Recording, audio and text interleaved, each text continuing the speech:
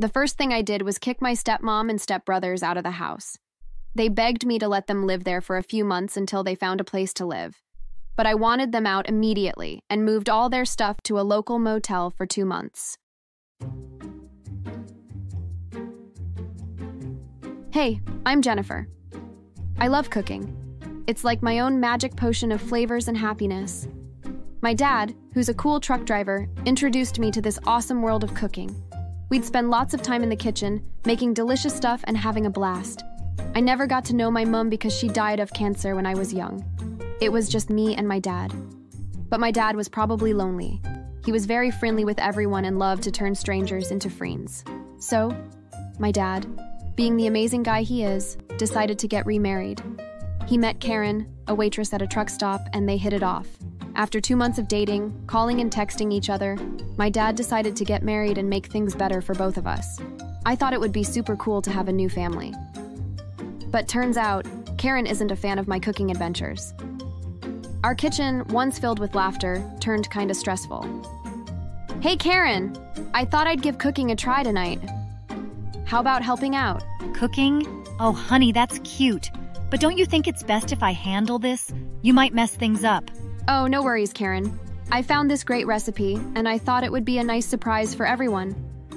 I'll just follow the instructions. Surprise? We don't need surprises. Stick to what you're good at, dear. Leave the cooking to someone who knows what they're doing. I want to help Karen. I've been practicing, and I'm sure I can do it. Let me at least try. Try? I'm not sure this is the time for experimenting, Jennifer. Just step aside and let me handle it.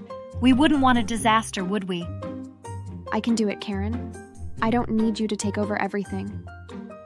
I want to be part of this family too.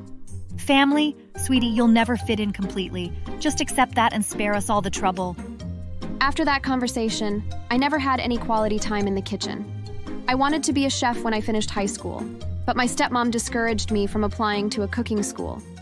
She told me that I couldn't even make scrambled eggs.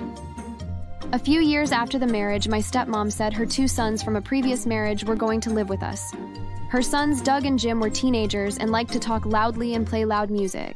They were always disrespectful to me and never turned down the music when I asked them to. I was quietly studying to be a teacher and needed to pass all the tests. Finally, my stepmom heard about all my conflicts with my stepbrothers and told me to move out. I told her I didn't have a place to go, and she said it wasn't her problem. I took a student loan and moved out the following month and rented a small apartment close to the campus. My dad was mostly on the road and thought everything was going well at home, but he didn't know the extent of my problems. This went on for a few years, and when it was time for me to graduate, I invited my dad, my stepmom, and stepbrothers to attend the graduation ceremony. Afterwards, we had a celebratory dinner at a local restaurant, and when my dad was not looking, presented me with the $400 dinner tab. She said since I would be making the big bucks, then I should be paying. Since I didn't want to cause a scene, I paid the bill. My stepbrothers just laughed. I found work as an elementary school teacher and met a fellow teacher, Tom, who shared the same interest with me in cooking and music. We eventually talked about marriage, and I introduced Tom to my stepmom, who I thought would be happy for me. Karen, this is Tom, my fiance.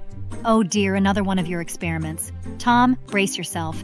Jennifer's cooking is a disaster waiting to happen. Actually, Tom loves my cooking. We enjoy making meals together. It's true, Karen. Jennifer is an amazing cook.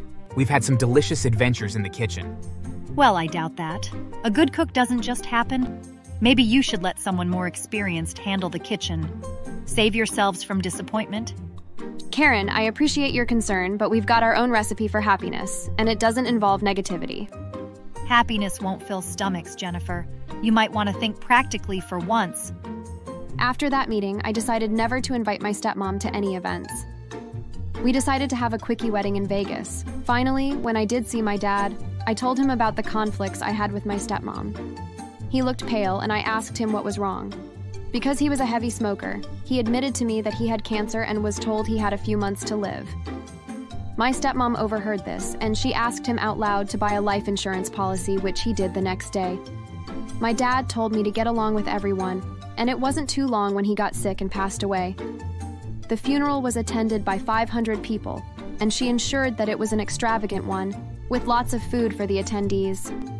I was surprised when she sent me the bill for $10,000, which was to cover all the funeral related expenses. I wanted to take home a few mementos of my dad, but she would only allow me one hour to take a few items. Most of the other items were taken away by other relatives. I managed to pick up a few ties and his favorite mug he used for his trucking job, but even that turned into a conflict. I'd really like to keep Dad's favorite mug as a memento. It means a lot to me. Well, Jennifer, I'm thinking of keeping it. Your dad gave it to me, you know. He did, but he always said it was his favorite mug. He might have said that, but it was a gift to me. I think I'll keep it. But I really wanted something to remember Dad by. Please, let me have the mug. It's not like you appreciated him when he was alive. Why would you care about a silly mug now? It's not about that. I just want something to remember him by. Well, you can find something else. This mug is staying with me. Leaving my stepmom with the mug, I was mad. I didn't want to see her again. Later, they read Dad's will, and it was a big surprise. I thought Dad didn't have much, but turns out he left everything to me the house, a lot of money, and some other stuff.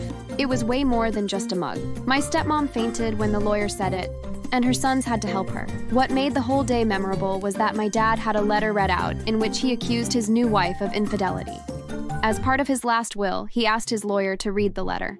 Dear Karen, I suppose now you may be shocked and unhappy that I'm leaving you with nothing. This is because, over the last few years, you have made my life difficult and unpleasant. You gave me massive credit card bills for jewelry and other expenses when I was on the road. When I started coughing and getting sicker, you told me to keep on working and to forget about seeing the doc. Finally, when I could no longer stand, someone from work took me to the hospital where the doctor told me I had end-of-life cancer. If you had encouraged me to see the doctor sooner, things could have been different. Now, I am rewriting my last will to leave you out of everything. What was worse was that I found out that you were having affairs with different men.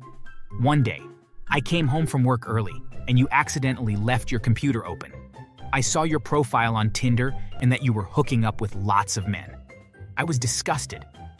Oh, and by the way, I changed the beneficiary of my $100,000 insurance to my only daughter. Sincerely, your happy husband, Eric. After the letter was read, my stepmom turned red and she didn't say anything. My two stepbrothers were both shocked beyond belief. With the inheritance, I could start a new chapter in my life. The first thing I did was kick my stepmom and stepbrothers out of the house. They begged me to let them live there for a few months until they found a place to live.